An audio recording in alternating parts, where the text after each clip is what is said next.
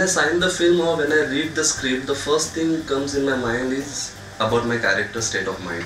Like I don't think about how am I going to make it look beautiful or how am I going to make it look grand or how am I going to make it look glossy or raw.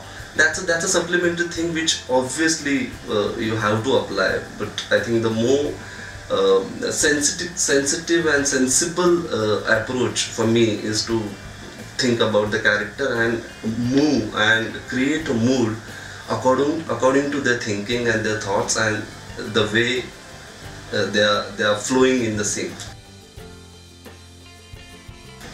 Like Dear Zindagi was it's about a character where uh, beginning of the film she's scattered and slowly slowly things happens in her life and she get inspiration from somewhere and how her life changes and how she learns to live the happy life. For that the approach was I started shooting Alia from the first scene with 25mm lens. Normally we don't use uh, a 25mm lens for actress, especially heroines close-ups but I did that because uh, more than making her look beautiful, what was important uh, for me to you know what she's thinking and what she's going through. And with the progression, like then 30, 35 mm, then 50 mm, then towards the end, if you see the moment where she feels happy, where she thinks good about herself, and that part, I mean, entire climax we have shot in 85 mm and telephoto a lens to see her in focus and you know she's sharp and everything around her is is, is it's blurry. To stand out that character to stand out that character's presence basically Hindi medium was little different because it's about showing their journey for their kids education. It's very important to, to think that who's going to watch this film. The film like Hindi medium it's about government school it's about education and you know your audience. Who's your audience? Of course uh, the middle class people film has to relate to them. They should understand the film.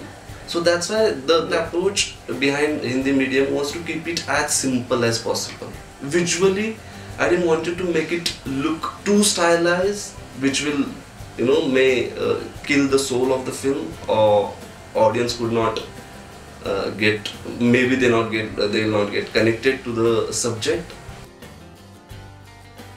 why I work with Ashirvad, one more important thing is Ashirvad is again he's a kind of person who will not think about making it look beautiful or making it look bluish or making it look warm or making it look golden. No, he'll give a justification to each and every scene by keeping it real. From my first film to till uh, Hindi medium, all my films I have uh, graded with Ashirvad and I have worked with Prime Focus it's a different comfort level for me. It's like a family for me. So for my every films, I request my production house to please. I want to work with Prime Focus and I want to work with uh, Ashirvad, my colorist.